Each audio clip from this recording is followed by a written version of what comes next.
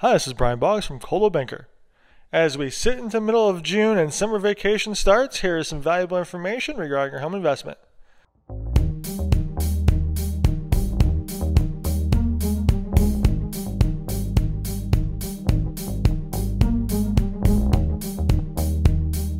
The selling price per square foot last month was $736, which is down from last year and is a great indicator for direction of property values.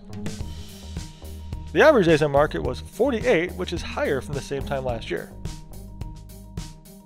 The selling price versus list price ratio was 100.9% and is down from the 102.96% of last year, which indicates a little more balanced market. If you'd like more details on the current market trends or have questions on your home investment, please call me today.